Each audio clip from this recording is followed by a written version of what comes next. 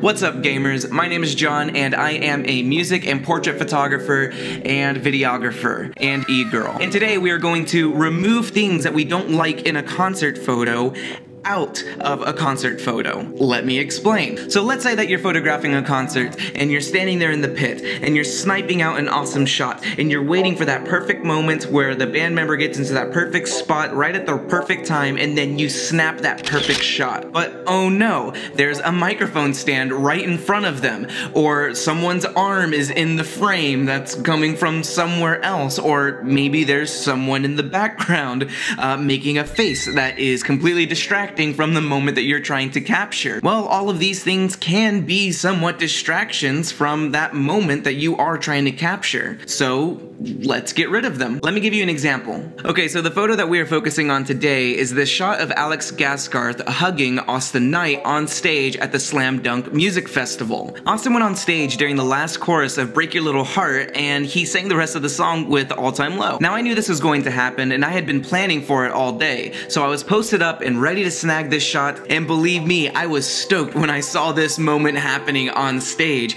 But as soon as I went down to take a look at that photo, I looked, and the first thing that I notice is that dang microphone stand. Now the photo is great on its own, don't get me wrong. Most people probably wouldn't even recognize that there is a microphone stand also in that photo, but imagine how sick it would be if this shot existed but without that pesky stand right there in front of them. Plus, every single time that I look at this photo, it's literally the only thing that I see and I hate it and I want to get rid of it, which probably makes this more of a me thing than it is a them thing.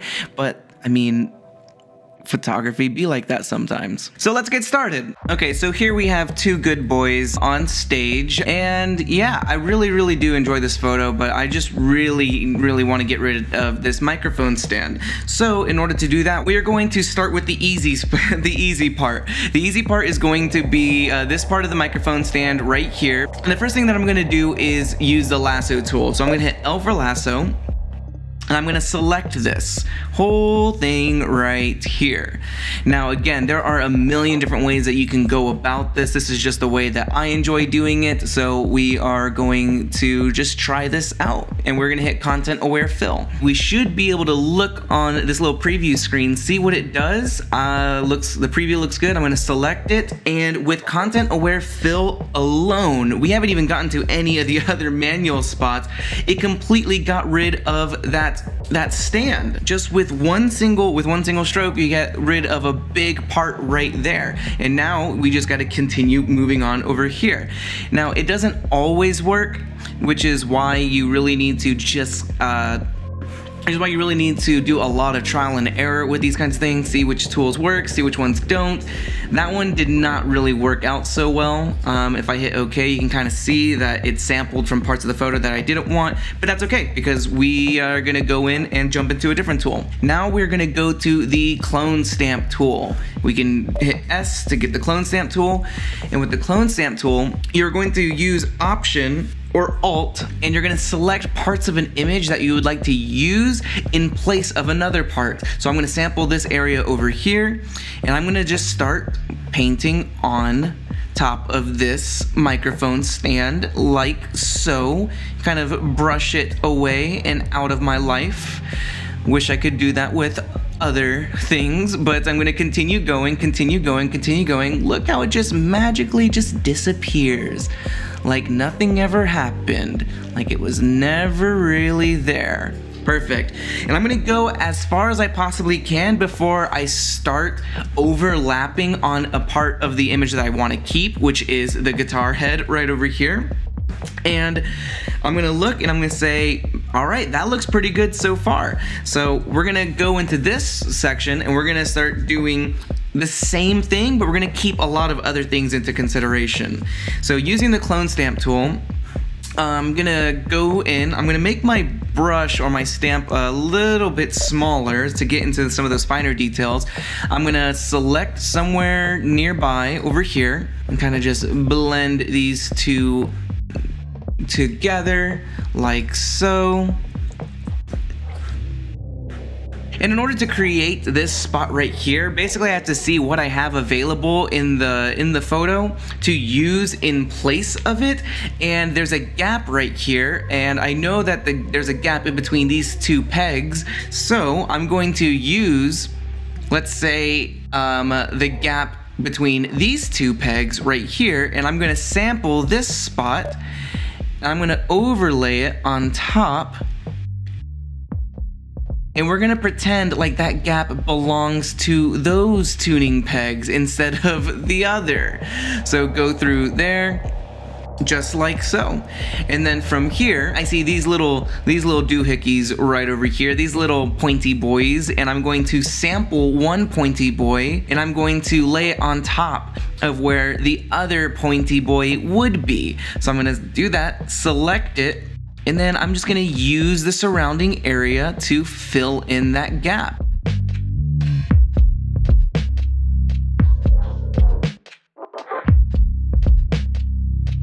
Now this part is going to be tricky because this right here is the Fender logo and I don't have enough detail and information in this photo in order to keep the Fender logo in there. So for right now, just for right now, we are going to sample other areas and we are going to just get rid of the logo overall.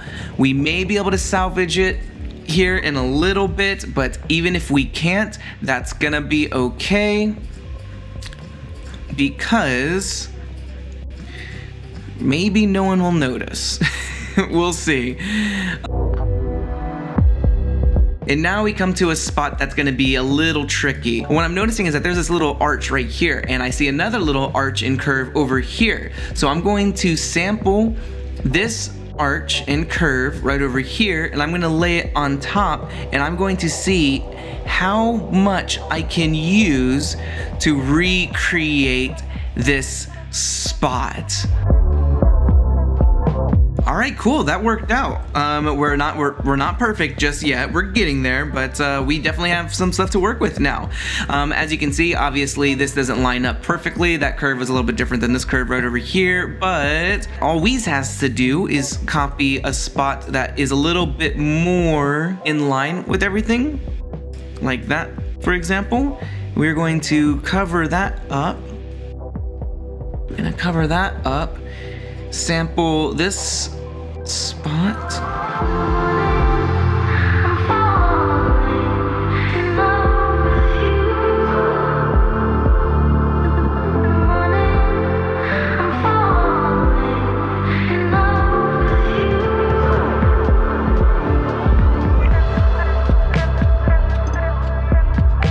Okay, so I'd say that we are exactly where we need to be. So far, we got rid of the top of the microphone stand, we got um, a bit of the middle that was underneath the head, and then we got everything that was covering the head right there. Now, I'd say that it's definitely far from perfect, but at from a glance right here, the job pretty much gets done. And if you're scrolling through, you wouldn't imagine that there was a microphone stand right here, uh, unless you saw this bit that we forgot and haven't haven't cut out just yet.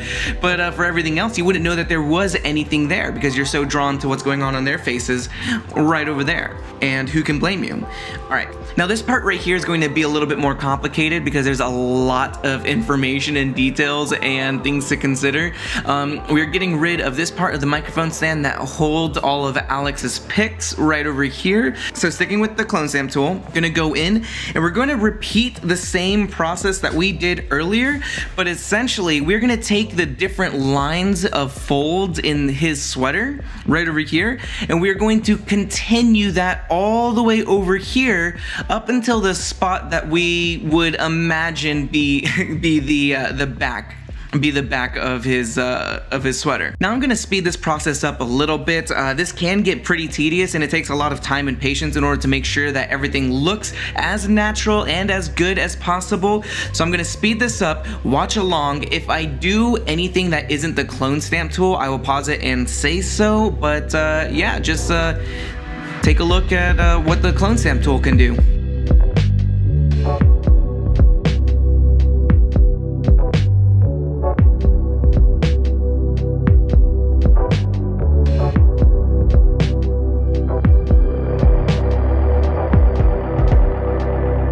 Okay, so there we are now. We are getting very, very close. The last thing that we have to do is continue this whole process down onto his pants. Now, this may prove to be a little bit challenging because there is a lot of detail and there are a lot of things happening on his pants right now. Um, so I'm gonna speed this up again, but uh, just take a look and uh, we'll see uh, how far we can get.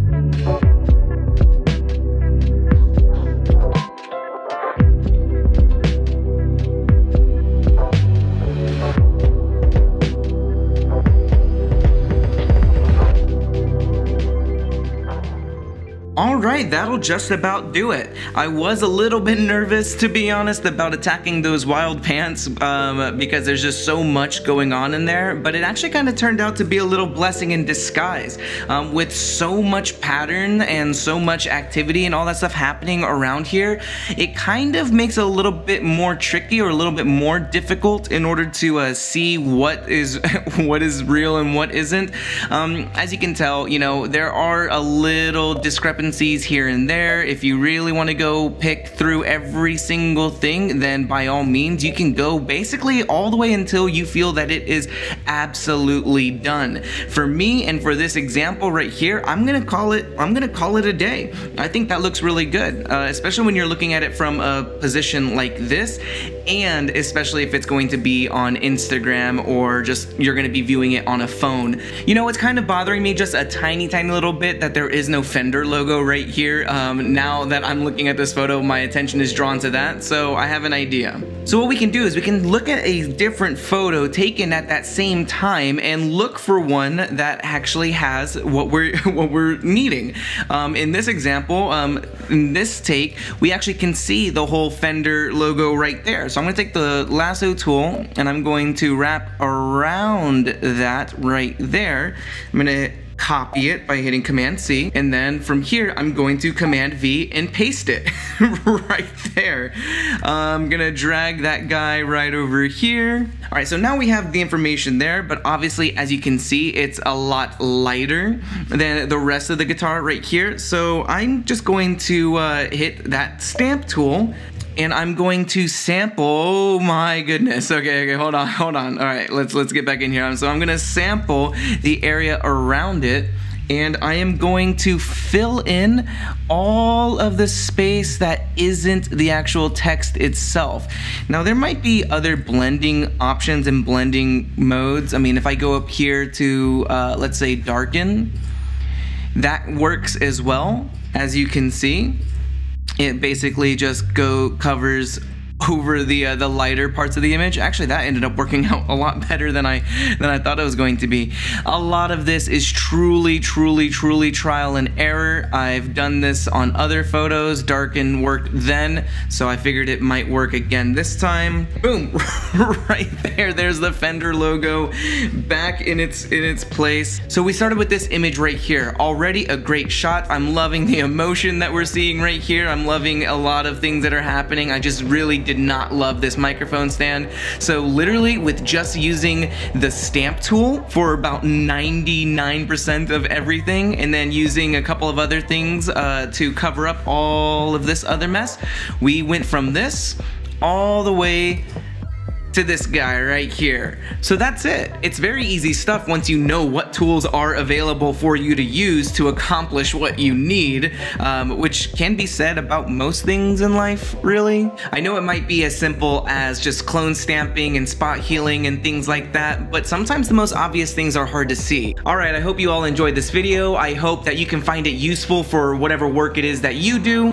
but also please don't forget to like this video and subscribe if you haven't already. I've been pretty much streaming every single week on here lately, uh, so um, also hit that notification button right there if you want to be made aware of when that happens, and also let me know in the comments if you'd like to see more videos like this in the future.